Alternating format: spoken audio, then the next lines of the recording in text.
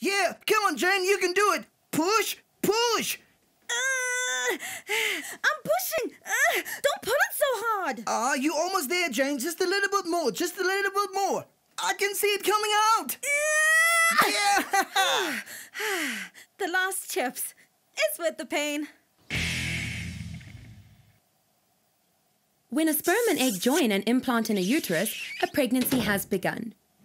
A human pregnancy lasts approximately 40 weeks from the first day of the pregnant person's last menstrual period. A pregnancy is divided into three segments called trimesters. Each trimester includes some common symptoms and milestones. During the first trimester, from week 1 through week 12, a pregnant person may experience morning sickness. Morning sickness can cause nausea and vomiting. For some, it happens in the morning, but for others, they may feel nauseous all day long. Eating dry crackers, such as salty cracks, can ease the nausea. Other symptoms of pregnancy during the first trimester include feeling tired, becoming hmm. sensitive to certain smells, craving particular foods, experiencing swollen or tender breasts, and needing to urinate or pee more frequently than hmm. usual. The second trimester of pregnancy begins in week 13 and runs through week 26. By the beginning of this trimester, most mm-hmm. fetuses will have grown to about the size of a peach and will weigh approximately 28 grams.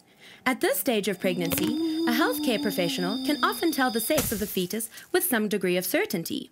During this trimester, a pregnant person will gain a noticeable amount of weight. They may also experience nasal congestion, dizzy spells, leg cramps, groin pain, or backaches.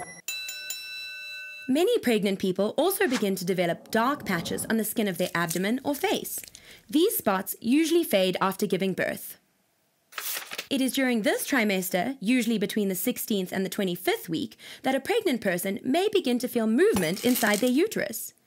By the end of this trimester, the fetus will have grown to about the size of a melon and will weigh a little more than 500 grams.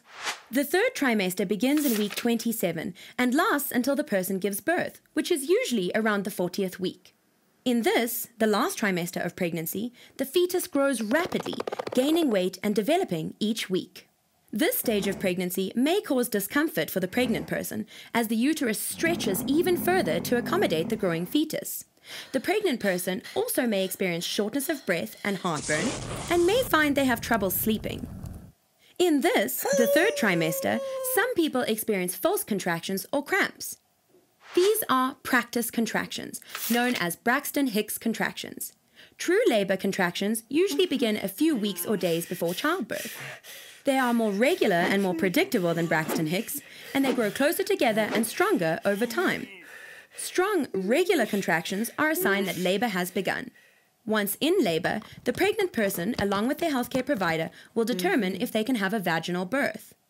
During a vaginal birth, the uterus contracts to push the baby out through the cervix, down the vaginal canal, and out the vaginal opening. If a vaginal birth is not what is best for the baby or the pregnant person, a healthcare provider can do a cesarean section or C section. A C section is a surgery during which the baby is taken out through the pregnant person's abdomen. Once the baby is born, the umbilical cord is cut, separating the baby from the parent for the very first time. This doesn't hurt the baby or their parent.